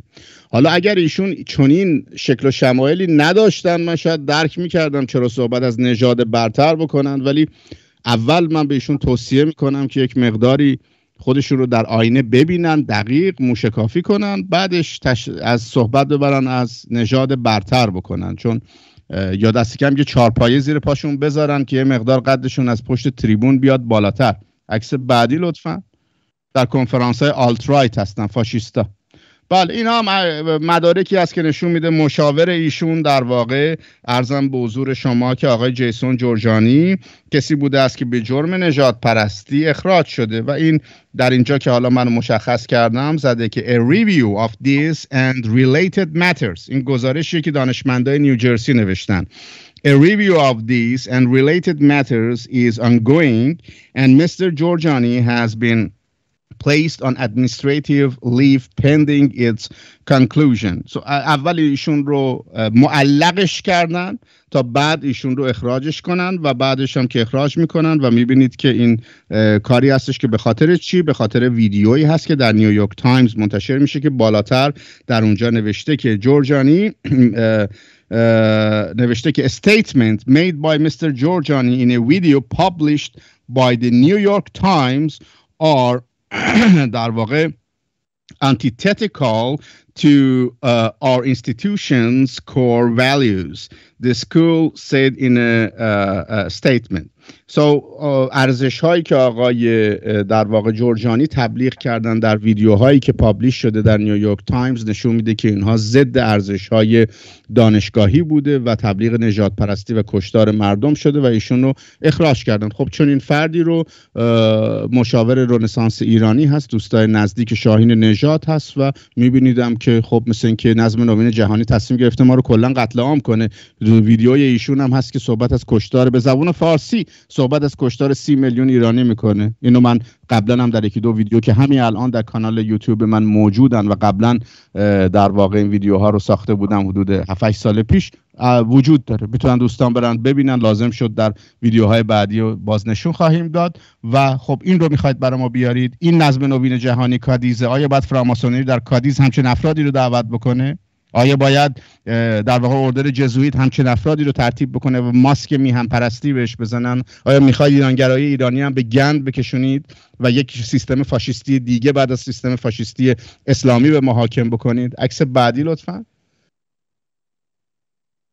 بله این رو شما می‌بینید. اصلا میدیاهای انگلیسی کلا این آقای در واقع جیسون جورجانی رو مسخره می‌کنن. می‌بینید برای سیبیل هیتلر گذاشتن سیبیل کوچیک گذاشتن و این خب ایشون مشاور رنسانس ایرانی و از اعضای اون باند آقای شا... ست شاهین نجات است شما همیشه فردی که وقتی تبار ایرانی نداره و خودش رو برای ایران پاره می‌کنه مخصوصا این آقایون ابراهیمی حالا چه سید کرات هاشون چه آنوسی کرات هاشون رو وقتی پیدا می‌کنید بدونید یک موی زیر یک در واقع چی میگن بهش به فارسی یک چیزی زیر نیم کاسه هست و این در واقع یک خطری وجود داره و یک دلیلی وجود داره. وگرنه یک فرد بیگانه دلیلی نداره که سنگ ملیت شما رو به سینه بزنه. عکس بعدی لطفا. بله اینم اینو من امیدوارم که عکس کامل رو نشون داده باشید. اینم حزب مشروطه هست. حزب مشروطه هم ایشون رو دعوت می‌کنه. حزب مشروطه که همون کلاهبردارهایی رو که ما حالا در برنامه آینده نشون خواهیم داد در انتشاراتی ها دعوت می‌کنه این جنایتکار رو دعوت کرده. یعنی حزب مشروطه هم می‌خواد بگه من بیام روی کار. دقیقا با تابع و پیرو مصباح یزدی های در واقع نوع جدید هستم که این آقایون هستن این فاشیستا هستن. عکس بعدی لطفا. بله اینجا شما عکس آقای امید دانا امید دانا و اینها به اتفاقا بسیار رنسانس ایرانی همکاری با جمهوری اسلامی داره. همونطور که می‌بینید اعضای صادراتی جمهوری اسلامی از جمله امید دانا که دیگه امروزه حمایتش از خامنه ای و سپاه پاسداران مشخص شده اینها اعضای رنسانس ایرانی هستن. این عکسای مشترکی هستش که آقای در واقع شاهین نژاد با امید دانا داشته. همونطور که می‌بینید با جیسون جورجانی داشته و خب اینها اینها یک باندن که می‌بینید از یک سرشون وصل به نظم نوین جهانی هستن و یک سرشون هم وصل به آخر جمهوری اسلامی و وزارت اطلاعاتش که ایرانگراهای دروغی میفرسته. اگه یا خاطرتون باشه امید دانا هم صحبت از ایران می‌کرد ایرانگرایی می‌کرد. اما بعدش می‌گفت خامنه ای ایزد نشانه. به جای آیت الله می‌گفت ایزد نشان. خب اینا هم همینن صحبت از ایران می‌کنن ولی بعد میگن سی میلیون ایرانی رو بکشید. یعنی ماسک اینها. اینا ایرانگرایی نیست. اینا ارتجاع سفید است. من مقاله داشتم. چند سال پیش تحت عنوان ارتجاع سفید و اینها در واقع ارتجاع سفیدی است که مخصوصا برای نابودی ایرانگرایی این اینها طراحی می‌کنن که اون رو یا مثل سد شاهین به در واقع نجات پرستی آلوده بکنن یا مثل سد جواد به مذهب. عکس بعدی لطفا. بله این در واقع آقای جیسون جورجانی است که می‌بینید چگونه دفاع می‌کرده از آقای امید دانا. این صدا خواهد ماند. همچون ایران بزرگ. این حمایت رنسانس ایرانی از ماموران جمهوری اسلامی از جمله امید داناست عکس بعدی لطفا. بله اینا عکسای از جمله حمایت آقای منشه امیر از شاهین نژاده ببینید دقت کنید هیتلر هم وقتی در آلمان اومد با وجودی که هیتلر خودش یهودی بود هاپلو گروپ ایوان بی داشت و امروزه مشخص شده که 100 درصد یهودی بوده حامیانش یهودی ها بودن که آمدن که ملیگرایی آلمانی رو به گند بکشونن و کشور اسرائیل رو ایجاد بکنن. حالا حامیان این ایرانگرایان قلابی هم مثل حامیان ملیگرایان قلابی در آلمان حامیان ایرانگرایان قلابی هم دقیقا موساد و یهودی ها هستن. مثل همین آقای منشه امیر که ایشون با هیچ ایرانگرایی مصاحبه نمی‌کنه جز با این افراد سیستمی می‌بینید دعوتشون می‌کنه و تبلیغ ایرانگرایی منحرف می‌کند چرا؟ چون ایرانگرایی منحرف سبب نابودی ایران و دادن بهانه به همین ابراهیمیانی مثل منشه امیر میشه تا بعدا بتونن ایران رو تیکه تیکه بکنن. این کاری است که در واقع با با ذکاوت انجام میدن. عکس بعدی لطفا. بله اینجا هم این آقای جیسون جورجانی و شاهین نژاد. می‌بینید که این فاشیست معروف و شاهین نژاد هستش که اینم اون آقایی که سمت راست کراوات داره آقای جورجانیه اون سمت چپی همون در واقع چی میگن اون کس کوچولویی که چاک سینش بازه آقای شاهین نژاد. ست شاهین. عکس بعدی لطفا. بله اینجا هم ببینید آقای جی، جیسون جورجانی با امید دانا. دیگه خودتون ببینید این گروه چه محصولاتی داره. امید دانا. عکس بعدی لطفا. بله اینجا هم که سایت اونها رسما نوشته که جنبش در واقع رنسانس ایرانی و جیسون جورجانی که ببینید رسما از مشاوران اینها هست. عکس بعدی لطفا. بله این هم عکس عاشقی عاشق و معشوق در واقع در کنار هم دو ایرانگرای متقلب و دو نا ایرانی که تبلیغ ایرانگرایی می‌کنند برای انحراف ایرانگرایی و بازی با احساس شما و به انحراف کشیدن اون. عکس بعدی. این کتاب آقای جیسون جورجانی است. تحت عنوان یکی از کتاب ایشون تحت عنوان World State of Emergency که خیلی ها میگن این کتاب رو در واقع سیستم به ایشون داده به نام ایشون زدن خود ایشون هم ننوشته. اما طرح روی جلد ایشون رو ببینید. پرچم آلمان نازی. عکس بعدی رو نشون بدن. پرچم آلمان نازی. حالا این عکس نه بیارید دو تا عکس بعدی رو. یکم برید جلو آقای تجریشی تا اون عکس بیاد. دارم میگردم. یکی بعدیه. نه اینا نیستش. این اینه.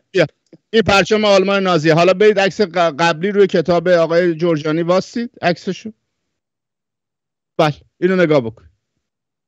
یعنی فاشیست کامل. یعنی در واقع حتی جلد کتابش این خب اینو دعوت کردن آقای حالا آقای همایون متوجه حرفا نیستشون. متوجه نیست این چیزا رو. ولی بقیه چطور؟ آیا همه نمی‌فهمن؟ نه وقتی دستور سیستم میاد دیگه مجبورید شما فاشیست رو به ما بخوان تحمیل کنن. باید همچین افرادی رو هم هر نکبت ابراهیمی باید اونجا مطرح بشه. عکس بعدی لطفا. بله اینم آین بزرگ داشته.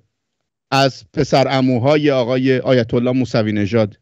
به حال هر دوتا سید و هر دوتا موسوی نژاد و هر دوتا هم به حال فامیلن دیگه یا دور یا نزدیک. عکس بعدی و مشدی این آقای امید دانا هست. از محصولات رنسانس ایرانی و اتفاقا پانیرانیسم. ایشون در ایران که بوده پانیرانیست بوده. در خارج که میاد عضو رنسانس ایرانی میشه. محصولی می شود آخر سرم به آیت الله خامنه ای می‌گوید ایزد نشان خامنه ای و بعد یک فرد ایران ستیز و که ویدیو داره ضد ایران و ایران باستانه مثل خامنه ای رو عکس این عفونت ابراهیمی رو می‌ذاره کنار عکس پادشاهان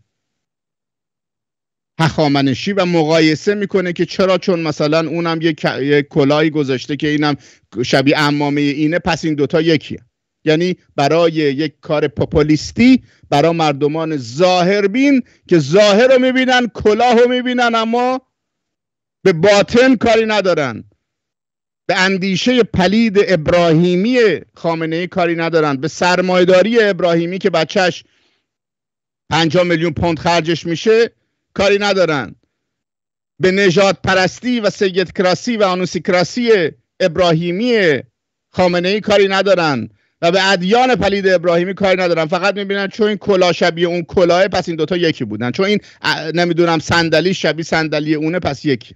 اینجوری یه سری مردم ساده دل رو محصول رنسانس ایرانی ایرانگرایی ایناست. اینه. اینی که داره شاهین نجات تبلیغ می‌کنه. و اینی که داره پانیرانیسم تبلیغش می‌کنه. عکس بعدی لطفا. بله. افتخار به, ت... خامنشیان یک توهم است. این خامنه واقعیه. نه اون چیزی که رنسانس ایرانی تبلیغ می‌کنه که اون رو مقایسش می‌کنه با پادشاهان هخامنشی خامنه ای دشمن ایرانه. و پنهانم نمی‌کنه اتفاقا راستش هم میگه. و ویدیوهاش هستن حالا اینجا نقل قول شده. نظرش درباره اخامنشیان همش دشنام میده همش توهین می‌کنه به تاریخ ایران. چرا؟ چون ایرانی نیست. اونم یه سید آنوسیه. مثل پسر عموس شاهین موسوی نژاد. عکس بعدی لطفا. بله. اینم محصولات رنسانس ایرانی و پانیرانیسم که دارن تبلیغ دستاوردهای جمهوری اسلامی رو می‌کنن. حالا خامنه ای کسیه که فتوا داده بمب اتمی در ایران تولید نشه. اینا دارن تبلیغ چیزی رو می‌کنن که نداره. عکس بعدی لطفا. بله این هم آقای مازیار قوی دل هست. حالا ایشون از نویسندگان محترمی هستن که اینجا تو سایتشون شکایت کردن از شاهین نژاد که آقا جون من یه فرد شارلاتانی شاهین نژاد که من یک بار فقط با ایشون یه گفتگویی کردم. ایشون میره همه جا میگه مازیار قویدل مشاور رنسانس ایرانی است. یعنی از شارلاتانی این فرد داره ایشون شکایت می‌کنه. این پیام آقای مازیار قویدل عکس بعدی لطفا. بله اینم از ایزد نشان خامنه ای محصول شاهین نژاد. اینم ایرانگرایی اینها. عکس بعدی لطفا. بله اینم از این افرادی که با این اینا می‌خوان ایران آزاد کن. اینا اینا, اینا نگاهشون اینا می‌خوان. من چیزی نمیگم. بعد میگن ایشون مخالفه نمی‌دونم. چیزهایی نمی‌دونم چی چی باشانه. به حال ما چیزی نمیگیم. خودتون قضاوت کنید. یه عکسی گاهی اوقات از صد تا تصویر بهتر. عکس بعدی لطفا. بله اینم نامه همکاران سابق آقای جیسون جورجانیه که قشنگ توضیح میدن. آقای مردک فاشیست بندازینش بیرون. عکس بعدی لطفا. بله این آقا. این آقا که هم تقریبا شبیه تو مایه های همون شاهین نژاد و امید دانا هست اینا می‌خوان ایران آزاد کنه این فاشیستا. فاشیستایی که متا خیلی زیادی مثل که مهربونن قیافه هاشون عکس بعدی لطفا. بله. این آقایی که رسما تبلیغ صهیونیسم ایرانی رو می‌کنه. حالا دیگه خودتون بگید از کجا اینا سرچشمه می‌خورن. این آقای جیسون جورجانی است. ایرانیان زیونیزم صهیونیسم ایرانی. تبلیغ رسما می‌خوان تبلیغ اینو بکن این آقای جیسون جورجانی است. پشت سرش آقای... عکس پشت سرش هم عکس شیر با تاج. بله پشت پشت سر آقای منشه امیرم هست. خب آقای منشه امیرم شیر خورشید البته اون بعضی اوقات پرچم و چپکی هم مخصوصا می‌کنه ولی به هر حال بله. پشت آقای منشه امیرم هست پشت ایشون هم هست. صهیونیسم ایرانی. منشه امیرم از اینا حمایت می‌کنه تریبون هم به این و شاهین نژاد و غیره میده. یعنی عملا اسرائیل می‌خواد ملیگرایی ایرانی رو انهر به انحراف برای کار اسرائیل دقیقا هم کاری که تو آلمان کردن و آلمانیا الان طوری شده که تو آلمان شما یه نفر آلمانی بخواد افتخار به تاریخش بکنه. این ملت به این با افتخاری که آلمانیا هستن میترسه. میترسه همچین چیزی بکنه چون هم بر نجات پرستی میشه. همین کارو می‌خوام با ایران بکنه. همین با حمایت از همین افراد. عکس بعدی لطفا. بله اینم آقای جسون جورجانی که داره از هیملر رو نمی‌دونم کوفت و زهر مارای نجات پرست حمایت می‌کنه. عکس بعدی لطفا. بله اینم آقای منشه امیر که تریبون از من و شما می‌گیرد.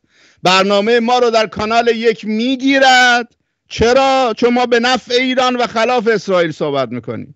اما همین فرد برنامه خودش و تریبونش رو در اختیار شاهین نژاد قرار میده. چون می‌دونه ایرانگرایی اون آغشته است ایرانگرایی اون انحرافی است ایرانگرایی اون باعث نابودی ایران میشه. اما کسی که واقعا داره از ایران صحبت می‌کنه. مانیفست فلسفی این کار رو داره. قانون اساسی آینده ایران رو نوشته. اینو باید ازش برنامه رو بخرید. یه شارلاتانی هم پیدا کنید که برنامه رو به شما بفروشه ازش تریبون رو بگیرید اون رو صداشو ببرید. ولی افراد دروغین رو با ماسک دروغین فردی که مهندس اصلا تحصیلات در زمینه علوم انسانی نداره نمی‌دونه اصلا فلسفه چیه نمی‌دونه اصلا علوم اجتماعی چیه. تمام زندگیش اندازه گیری خطکش و گونیا و پرگار بوده. حالا این فرد رو بیاید براش ماسک بزنید. بیاید این چند میلیمتر سلول ابراهیمی رو تبدیل به چند متر سلول ایرانی بکنید. بزرگ نمایی بکنید و به خورد این مردم ساده بدید. کاری که منشه امیر و اسرائیل و موساد دارن با هویت ایرانی و ملیگرایی ایرانی می‌کنن. تریبون عملا در اختیار افراد فاشیست قرار میدن. همون کاری که با آلمان کردن دارن با ایران می‌کنن. عکس بعدی لطفا. بله این که کس ایشون تند و تند کتاب براش چاپ می‌کنن و بعد اینو من به شما عرض بکنم. ایشون کتابی چاپ کرده. آقای ببینید اصلا فاجعه است همچین چیزی. این آقای بیژن خلیلی. یکی از یهودیان عزیز برای ایشون آمده و این کتاب ایشون رو در نشر کتاب چاپ کرده و انقدر ایشون نادانه که ایشون یادش رفته که این کتاب و عنوان اون قبلا چاپ شده بوده به وسیله یک ما یک معلف دیگری یک نویسنده دیگری. ایشون کتابی نوشته تحت عنوان پیش درآمدی بر اندیشه سیاسی ایران شهری. این که این عنوان کتاب ایشون فصلی هست از کتاب یک نویسنده دیگر. عکس بعدی رو شما نشون بدید لطفا. نه این عکس نه اینو به این برمیگردیم. برید عکس بعدی. این بله این کتابی که نوشته. عکسی هست عکس بعدی لطفا. اندیشه سیاسی نشه عکسی هست از نویسنده دیگری از کتاب نویسنده دیگری تحت عنوان مبانی اندیشه سیاسی در خرد مزدایی که آقای محمد رضایی راد این رو در سال هفتاد و هشت یعنی حدود 20 سال پیش این کتاب رو نوشتن و تمام ایرانگراها آقای محمد رضای راد رو می‌شناسن. مبانی اندیشه سیاسی در خرد مزدایی فصل اولش مبانی اندیشه سیاسی ایران شهریه. اصلا نام فصل اولش معادل نام کتاب آقای شاهین نژاده این نام از اونجا گرفته و سری خوزعبلات نوشته تحت عنوان خودش یه چیزای اضافه کرده چیزای کم کرده و اونا رو تحت عنوان این نوشته و از اون نام رو گرفته و به جای خودش داره اثر این رو جا می‌زنه. یعنی شارلاتان بودن در حد اعلا در حد اعلا. سیستمی بودن در حد اعلا. وقیح بودن در حد اعلا. نمی‌دونم مثلا هوش مصنوعی چند منه که می‌تونه همه در پته این رو بریزه رو آب مطالبشون رو چک بکنیم. حالا این اومده به عنوان بخواد پایه ایرانگرایی ایران فردا رو بذاره. کسی که کاراش هم رو تقلب و تقلید از این و اونه عکس بعدی لطفا. بله این کتاب خرد مزنایی هست که ایشون میاد فصل اول این رو می‌گیره و دقیقا نام فصل اول رو می‌ذاره نام کتابش و و یک سری چیزایی هم اضافه می‌کنه و تحت عنوان این چیز می‌کنه. آقای بیژن خلیلی هم برای چاپ می‌کنه. چون بیژن خلیلی و منشه امیر بالاخره هر دوتا از یه جا باید وظیفه دارن حمایت کنن دیگه از این افراد تا ایران رو نابود کنن دیگه. عکس بعدی لطفا. بله و یکی عکس قبلی رو که راجع به کادیز بود هم شما نشون بدید. لطفا دو سه تا عکس برید عقب برای کادیز رو بیارید. Constitution کادیز بود که حالا ما بجز این فرد که فقط یکی از گروه هایی بود که در این کنفرانس کادیز شرکت کرده بود. بله بله عکس کادیزه. ببینید من برای اینکه اهمیت کادیز رو به شما بگم و بگم این نشست نشست سیستمی بوده این تصویر روی جلد کتابی است که نخستین قانون اساسی اسپانیا یا Constitution of کادیز منتشر شد. در بالای اون شما ستاره داوود رو می‌بینید. ستاره ششپر داوود در همین شهر کادیز و در پایین اون ماسک رو می‌بینید. ماسک روی صورت. ماسک ژزوئیتی در نمایش ژزوئیتی در نمایش سیاسی قدرت یهودی کاتولیک در جهان. حالا اون کسانی که می‌خوام بیشتر بدونن درباره ساختارهای سیاسی در جهان رو من توصیه می‌کنم که فیلم و مستند راز پشت همه رازها از این جانب رو که یکی از کلاس های درسی من بوده در بنیاد مهر ایران که در کلاس های درسی آکادمی مهر ایران بوده است رو به صورت آنلاین برگزار شده. راز پشت همه رازها بخش یک و بخش دو رو ببینن تا با این کانون های قدرت بهتر آشنا بشن و بفهمن چرا این آقایون الان در کادیز جمع شدن. بفهم مفهوم کادیز یعنی چی؟ مفهوم این قانون اساسی که در کادیز نوشته شده یعنی چی؟ مفهوم اون ستاره داوودش و ماسکش یعنی چی؟ و این آقایون چرا ماسک دارن و دارن هیچ کدومشون نه ایرانگرا هستن نه دلشون برای ایران میتپه؟ آنچنان که کمونیست هم نیستن آنچنان که سوسیالیست هم نیستن آنچنان که کاپیتالیست هم نیستن و افراد دیگری که اومدن همه ماسک زدن و چون دستور سیستم از بالا آمده که باید همه در کادیز جمع بشید جمع شدن آنچنان که وقتی که دستور در انقلاب 57 آمد مسلمان و کمونیست در کلیسای واتیکان که اون هم یک مرکز کاتولیکی بود مثل کادیز جمع شدن در نزدیکی کلیسای واتیکان نماز جماعت خوندن با هم دیگه. حالا اینا هم همین دست. اتحاد ابراهیمی. این رو من اسمشو می‌ذارم اتحاد ابراهیمی چون دستور از بالا اومده. من درباره دونه دونه دیگه نمی‌خواد متشکرم آقای تجیشی عزیز چون وقتمونم کم هست. من فقط نمی‌تونم راستش فرصت ندارم به دونه دونه این گروه افراد و گروه های پردازم یکی دو نمونه اینها که ادعای ایرانگرایی و ملیگرایی داشتن و این حوزه تخصصی من هست. پرداختم از جمله مدیر کانال یک از جمله پانیرانیسم از جمله در واقع رنسانس ایرانی و چند استدلال و مدرک و شواهد و قرائن نشون دادم تا شما بهتر با چند و چون این شو سیستمی آشنا بشید. من دیگه ارزی ندارم اگر سوالی دارید جناب امیری من در خدمت شما هست نه خواهش می‌کنم. خیلی خیلی سپاسگزارم. قرار بود خیلی کوتاه به این بپردازیم ولی شما جامع به این مسئله پرداختید. خیلی سپاسگزارم. دوستان قصد ما چون دیدم دوستان پایین پیام میدن قصد ما آگاهی دادن و باز کردن این مسائل هست. برای اینکه مردم گول نخورن و ناامید نشن. ما از این حرکات از شورای مشروطه بگیرید. تا اون دولت موقت و دولت در تبعید و حزب مشروطه و پیمان نوین رو از این خوزبلات از این جلسات مسئله ما زیاد دیدیم. به این خاطر ما به این مسائل می‌پردازیم که گول این مسائل رو این نشست ها رو نخورید و مردم ناامید نشن. این فقط قصد ما این هست قصد دیگری نیست. به خدمت دوستان عزیزم اعلام بکنم برنامه فردای من با آقای دکتر ابراهیم روشنده بسیار برنامه مهمی خواهد بود. مخصوصا که در رابطه با همین مسئله کادی صحبت میشه و همچه الیگارشی که پهلوی که ایشون در که دو برنامه گذشته در موردش صحبت کردن. که اتفاقا جناب آقای دکتر حاضری هم من دیدم که یکی دو تا استوری در این زمینه گذاشتن و مورد تایید ایشون هم هست. حتما پیشنهاد می‌کنم این برنامه رو دقت بفرمایید. و یک دو تا عکس من برای دوستان در اتاق فرمان فرستادم. در مورد یکی دو تا از این دوستان می‌خواستم صحبت بکنم از این افرادی که در اونجا بودن ولی فقط به یکی بسنده می‌کنم. اون هم خانم میترا جشنی هست. اگر دوستان در اتاق فرمان بله. این خانم میترا جشنی هست. شما عکس زمانی که در ایران بودن و زمانی که در خارج از ایران رو دارید می‌بینید. عکس بعدی لطفاً.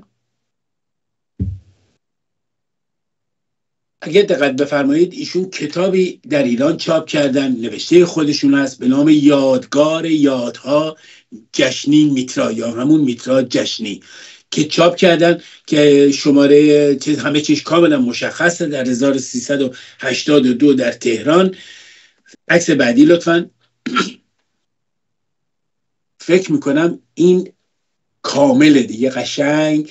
احتیاجی نداره توضیحی در موردش بدم که ایشون نوشتن بت زمان را می شکند شاید ابراهیمی دیگر باشد. منظور آقای موسوی الخمینی هست. ببینید اون بالا من ننوشتم که رو کتاب ایشونه والا ایشون نوشته اما ابراهیم تبر را بر دوش بتی دیگر. به خدا اینا نوشته های من نیست. ها را بر می کند بت زمان را میشکند شاید ابراهیمی دیگر باشد اما ابراهیم تبر را بر دوشت بتی دیگری نهاد. او که تبر بر دست ایستاده. ببینید میگه تو ابراهیم بت رو دست روشی یکی دیگه گذاره ولی خودش دستش گرفتن یعنی خمینی تا این حد برده بالا. پس او از جنس آدمیان نیست اما از فرشتگان هم نیست. شاید فرشته است در لباس آدمی صدای خدا را بر لب دارد. او روح خدا است. اینها رو خانم میرزا گفته. دوستان عزیز خانومی که رفت اون گروه فرشگت جز مؤسسین بود. زنی که الان تبر به دست گرفته و رو دوش آقای رضا پهلوی گذاشته و ایشون رو فر ایزدی مینامد. این خانوم میاد میگه آقای رضا پهلوی تنها آلترناتیو ایشون نمی‌دونم از پدر پدر بزرگ شدن بالاتره. بعد اینجا به کدام حرف ایشون من قبول بکنم؟ حرف 1382 که کتاب چاپ شده ازشون؟ یا الان؟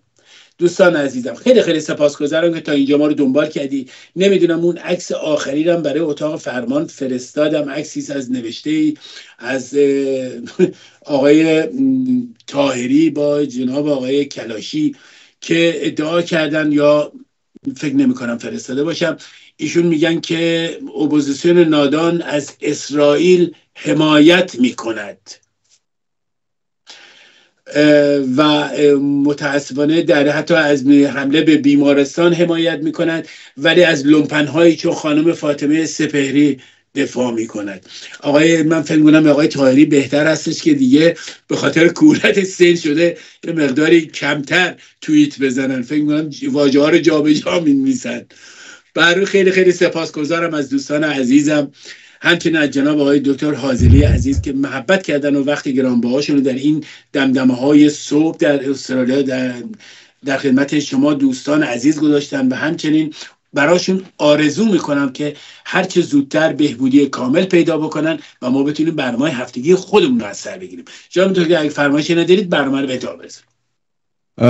سپاس از شما جناب امیری به نکات مهمی اشاره کردید. من نمی‌خوام دیگه باز واردش بشم چون برنامه طولانی میشه.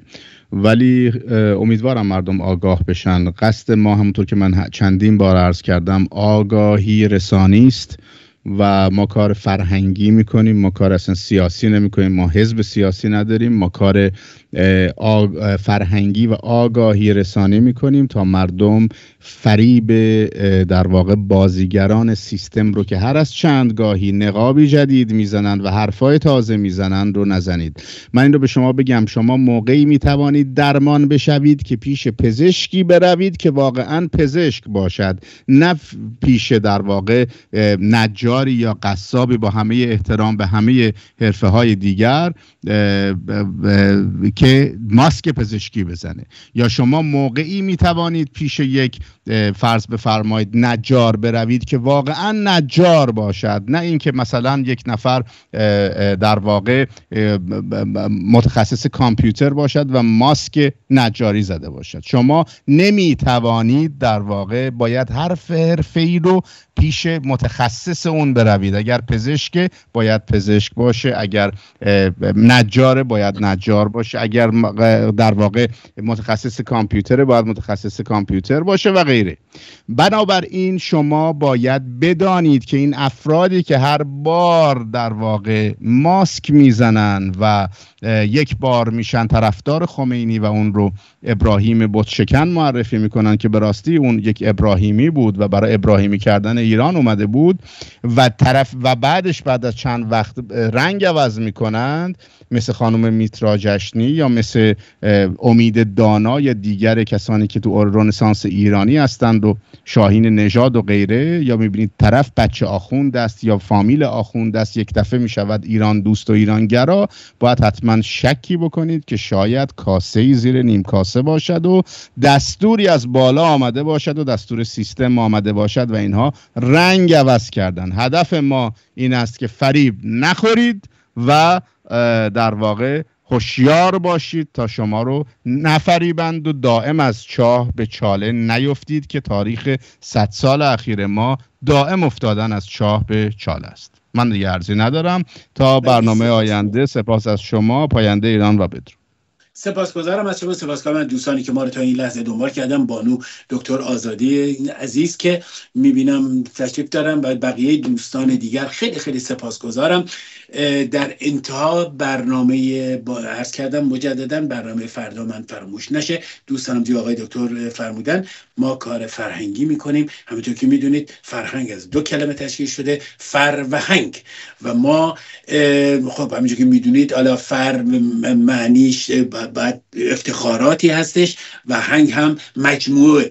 وقتی به هم دیگه وصلش می‌کنیم افتخار مجموعه افتخاراتی است که ما برسا بهش افتخار می‌کنیم. حالا در گذشته ما سعی می‌کنیم که به اون کاری افتخار بکنیم فرهنگی رو بسازیم خودمون درش نقش داشتیم. و این کاری هستش که ما داریم انجام میدیم درش نقش داریم. در این که من افتخار بکنم در اصفهان یک حمامی بوده که 800 سال با یک شم گرم می‌شده اون برای من افتخار نیست اون برای شیخ افتخاره که این رو ساخته. ما اون کاری رو می‌کنیم ما اون به اون افتخار می‌کنیم. به اون برنامه افتخار می‌کنم که چهار سال قبل آقای دکتر حاضری عزیز فرمودن که در اون منطقه جنگ خواهد شد در اینجا این خواهد شد و به همه دونه به دونه داریم می‌رسیم. این افتخار ماست. نه اون چیزی که شیخ بهایی ساخته. درست مباهات داریم نسبت به اون مسئله. ولی درش نقشی نداشتیم. سعی می‌کنیم درش نقش داشته باشیم. خیلی خیلی سپاسگزارم از دوستان عزیز. به یزدان گرم آخرت داشتیم. کجا این سرانجام بد داشتیم. تا برنامه دیگر تا درودی دیگر به شما عزیزان بدرود میگم. پاینده, پاینده ایران. ایران. پاینده ایران.